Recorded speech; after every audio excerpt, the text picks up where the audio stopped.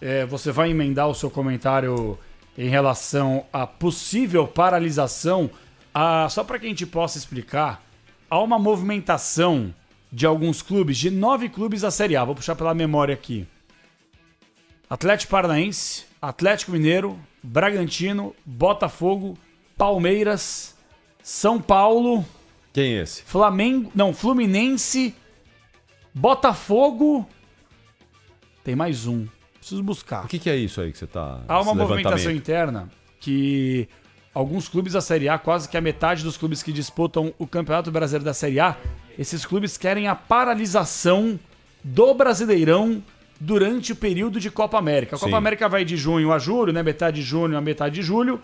E a gente, se continuar nesse formato que está, o Campeonato Brasileiro vai continuar. Então vou- vem cá, você é flamenguista.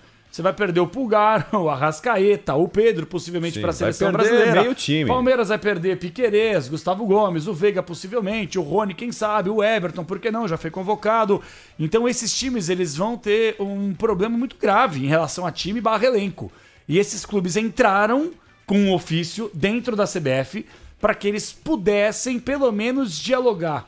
E aí eu tava lendo na matéria do GE, uma matéria muito boa aqui, explicando sobre dois empecilhos, coisas que podem atrapalhar. Ah, ó, eles até colocaram aqui, ó. Atlético Paranaense, Atlético Mineiro, Botafogo, Bragantino, Bragantino, acho que eu não falei Bragantino. Flamengo, Fluminense, Palmeiras, São Paulo e Vasco. É isso aí, eu não falei nem Flamengo nem Vasco. Eu falei Botafogo e Bragantino. Esses são os times que fazem parte da Libra. Isso. Nove clubes querem a paralisação do Campeonato Brasileiro durante o período de Copa América nesta temporada. E aí são dois problemas. Primeiro, a Copa Intercontinental da FIFA. Quem ganhar Libertadores, Atlético Mineiro, Botafogo, Bragantino, Flamengo, Fluminense, Grêmio, Palmeiras ou São Paulo que estão na disputa, é, cuja final está prevista para 30 de novembro, terá vaga no torneio da FIFA que ocorrerá em dezembro. Se algum finalista da Copa do Brasil for campeão continental, haverá conflito de datas. Eles têm razão. Não, eles têm Claro. razão. Esse é o primeiro ponto. O segundo ponto é dano ao calendário de 2025. Ainda que não haja time brasileiro do Intercontinental, no, perdão, Intercontinental, o adiamento da Copa do Brasil obrigaria dois times a esticarem as férias em janeiro, o que atrasaria o início da temporada 2025 dessas duas equipes.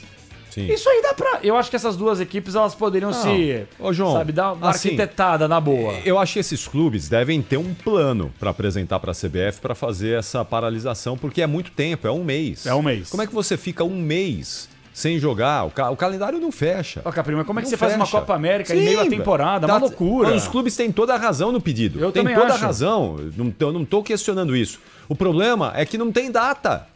Ué, mas faz Como eles estão pedindo, então, é, agora, como eles estão levando essa demanda, eu imagino que eles devem ter um plano ali, porque não adianta só chegar lá na CBF e falar, ó, não queremos jogar durante a Copa América, tem que paralisar. Vamos olhar para ele, tá, tá bom, a gente paralisa, mas qual é a solução? Porque não tem data. Não tem data. Com esse dessa maneira como tá o calendário, hoje já tá completamente apertado. Então, Então, eu, eu não sei, eu gostaria de ver, saber qual é a proposta desses clubes para a CBF. aqui o tem que, eles- pensar nisso é o Júlio Avelar, né? Mas, ô João, Que é mas o diretor de certa- competições da CBF. Ele tem que certamente- sentar o bumbum dele na Então. cadeira e, e trabalhar e rearquitetar essa parada Mas aí, certamente quando eles criaram o calendário de 2024, já em 2023, lá no ano passado, eles imaginam que eles devem ter pensado nisso, devem ter sentado lá e falado, pô, é, a gente precisaria parar o Campeonato Brasileiro porque os clubes vão ser prejudicados, né? Como é que a gente faz aqui? Eu imagino que aconteceu isso. Os caras tiveram essa ideia brilhante, né? De Será pelo menos lembraram? cogitar.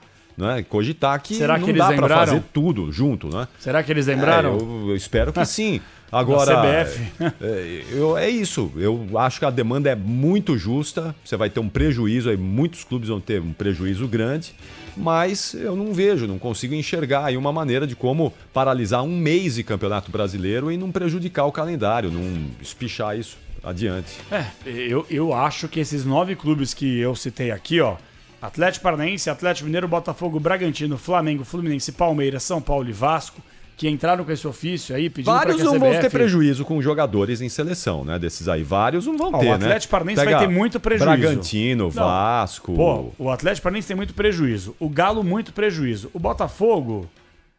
Botafogo Quase talvez nada, dois, né? é. Talvez dois jogadores, vai. É. Bragantino, uns dois atletas. Flamengo, nossa, uma carambada. Fluminense. Fluminense. Talvez, aí vai. Com muita boa vontade, né? Fluminense, talvez o André. Talvez, é. Talvez o André. É. Palmeiras, não preciso nem falar. São Paulo, Arboleda, né? Tem a, É. a gringaiada aí. E o Vasco que, sinceramente, acho que, acho que o É. Vegete não vai ser. Acho assim. Palmeiras, Flamengo, Então. Atlético Mineiro, esses times vão ter um prejuízo bem grande, bem considerável. Os outros vão perder ali, talvez, né? Um, dois O Atlético Paranaense perde no quatro, cinco jogadores convocados. estrangeiros. Os né? estrangeiros, né? Pega Canóbio, Zapelli, Esquivel, Sim. o próprio Só Bento, que o Atlético tá no outro grupo, né? Quem? O Atlético Paranaense tá no Não, tá outro. no mesmo. me- No, no Mesmo Libra? grupo desses aqui. Tá na Libra É, tá também? na Libra também. O Atlético Paranaense? Tá no mesmo aqui desses caras. Ah. Então, assim, Capri, sendo bem sincero, é, o Avelar tinha que resolver, ele que é o diretor de competições da CBF, Júlio Avelar, ele deveria realmente conversar com esses clubes e tentar chegar num denominador comum. Há alguma possibilidade para que poss- possamos chegar num denominador comum? Eu não acredito. Eu não acredito justamente por esses dois conflitos. Agora, com todo respeito, você depõe contra o Campeonato Brasileiro, que você está promovendo, tirando seus principais atletas por causa de uma Copa América que, Claro. obviamente, é organizada pela Comebol. E quem usufrui também disso é a CBF, que ganha dinheiro, etc. Mas isso é muito ruim, Capri, pro próprio torneio. Então é difícil a gente chegar aqui, gente, ó, atenção. E não é fazer um tempestade numa- num copo d'água. É uma tempestade real. Porque os times que terão os seus jogadores convocados, os times não vão contar com esses atletas em nove rodadas do Campeonato Brasileiro. Estamos falando praticamente de um quarto do Campeonato Brasileiro sem esses atletas. E aí dá pra gente poder bater no peito aqui e falar: o Palmeiras é o candidato a título brasileiro, uma vez que vai ficar nove rodadas sem os seus principais jogadores? Claro, não, é um Não dá, prejuízo cara. enorme, gigante. Para o torcedor que não vai ter esses ídolos no, no- no campo, não é? É muito ruim, muito ruim.